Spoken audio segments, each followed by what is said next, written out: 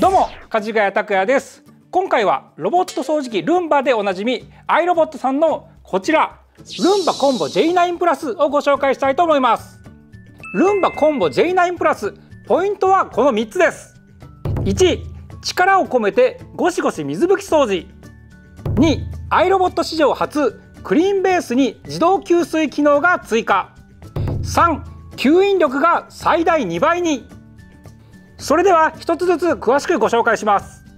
今回モップパッドに力を込めて前後に往復しながら水拭きをする機能がつきました。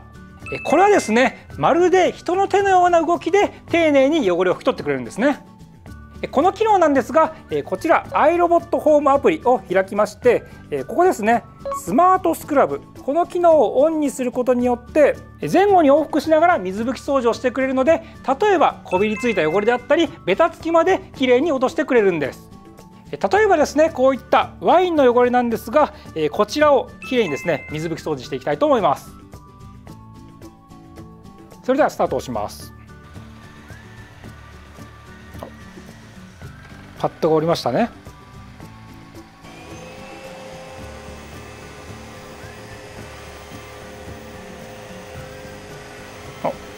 スマートスクラブで今何回かやってますね。さあいきますよ。おわワインの跡が落ちました。や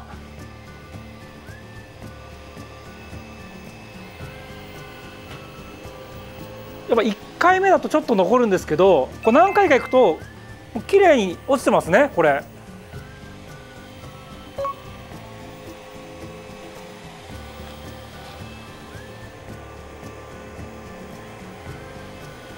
お1回目ちょっと落ちましたね。あもう2回目で肉眼ですと分からないぐらいも落ちてますね。この動き結構なんか新しいですね。こう行ったり来たりする感じが、まあ、こんな感じでですね。水拭き掃除をしてくれます。もちろんですねルンバコンボの特徴であるパッドリフティング機能もついています。このパッドリフティング機能によって上にあったパッドを下に下げて水拭きしてくれるんですね。でまあこんな感じでですね。カーペットを検知するとパッドが天面に上がりましてカーペットを濡らさないようになります。そしてですねこのモップパッドはこのように簡単に取り外しができまして使い終わった後は洗濯機で洗うことも可能です。このようにですね本体を裏返すことなく交換できるので非常に簡単です。そしてこちらクリーンベースがさらに進化しました。ルンバコンボ J9 プラスはですね充電をしてさらにゴミも収集するこのクリーンベースがついてるんですが自動給水機能がつきまして最大30日間給水が不要になります。掃除中に水が不足すると自動でクリーンベースに戻り残りの掃除に必要な分だけ補充。その後中断した場所から掃除を再開します。ルンバはですね掃除中に吸ったゴミをまず一時的にここに入れます。そしてですねこのクリーンベースに戻ったら自動的にゴミを吸引しましてこの中のこちらですね。紙パックにゴミを収納してくれます。そしてこの紙パックはですね数ヶ月分のゴミを収納できますのでお手入れが非常に楽になります。このクリーンベースがゴミを回収する際の音も従来に比べて気にならなくなりました。あとこちらですね地味に便利なんですけどこれ横開きになりましたのでこのようにですね上に掃除用具などを置いておけるようになりました。そして進化した吸引力を試してみたいと思います。こういうようなラグでやった場合を見てみましょう。こういったですねラグの上に行くとラグを検知してまこれカーペットブーストって言うんですけれども自動的に吸引力を最大2倍にアップしてくれるという機能があります。これによって奥の汚れまでしっかり取り除いてくれます。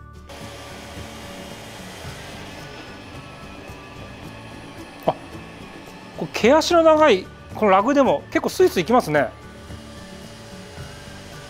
結構綺麗にこう隅々まで掃除してくれてますね。このような毛足の長いラグでも綺麗に掃除してくれましたね。吸引力が上がっただけでなく頭脳も常日頃からですね世界中のデータをもとにアップデートが繰り返されていますので日々進化しています。例えばですね電源コードや障害物を見つけたら回避してくれます。それでは実際にやってみたいと思います。電源ケーブルのとこ向かいます。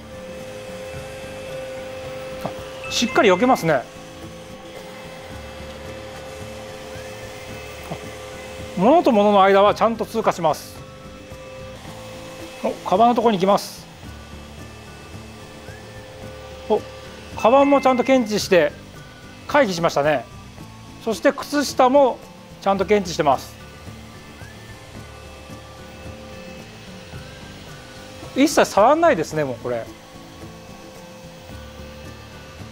それ以外にも自宅の状況や世界中のユーザーの清掃履歴に基づいて自動的に部屋の清掃の優先順位をつけることが可能になりました。